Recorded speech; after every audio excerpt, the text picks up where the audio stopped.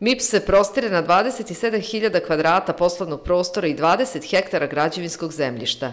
Nekada je ta firma bila najveći izvoznik mesa u bivšoj SFRJ. Danas, tačnije 27. maja 2018. godine, kompanija Union MZ kupila ovaj prostor, fabriku MIP-a za 45 miliona dinara i sada je u njihovom posjedu upravna zgrada Stara i Nova Klanica, staje magacin repromaterijala, hangari, kotlarnice, kafilerija, mehaničarska radionica, objekti za pranje kamiona, vozni prostor, hladnjače. Union MZ 2006. godine učestvovao u licitaciji, ali iako je ponuđeno milion evra, tada nisu prošli, gigantska mesna industrija Požarevac nije pripala Zvonku Milenkoviću. Nakon postupka kupovine fabrike za oko 370.000 evra, MIP je prešao u vlasništvo Union MZ-a.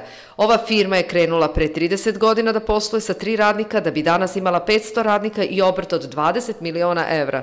Shodno tome da se potrebe tržišta povećavaju, postojeća fabrika u Aleksandrovcu ne može da zadovolji tržišne zahteve, te je neophodno povećanje proizvodnje i plasiranje robe na tržište. U Aleksandrovcu se dnevno proizvede 10 tona mesa, što je sa današnjeg aspekta potražnje nedovoljno, a stacioniranjem na jednom mestu gdje će moći da se odvija proizvodni proces od nulte tačke do izlaska i plasiranja na tržište, doći će do nemerljive uštede financija za jednu firmu, ako se sagleda trenutna slika gde je proizvodni proces rasud po mestima u okolini Požarevca. Pored toga što ovakav vid poslovanja može da dovede do zapošljavanja radnika u budućnosti, do plasiranja većeg asortimana robe i van granica naše zemlje, takođe će se u MIP-u odvijati celokupan proizvodni proces koji je važan za poslovanje Union MZ-a, najvećeg proizvođača mesa i mesnih proizvoda u Braničevskom okrugu.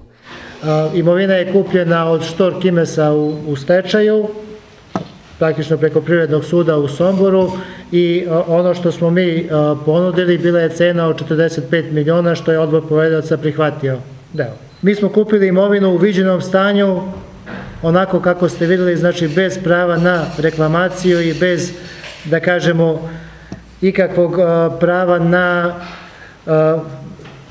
bilo kakvu reklamaciju imovine. Sigurno je da nas očekuju velika ulaganja pre svega u rašišćavanje terena i rašišćavanje onoga što je neupotrebljivo, a onda praktično da krenemo od nula i da krenemo da gradimo, mi mislimo, jedan pogon koji će prevazići ono što je mi bio nekad.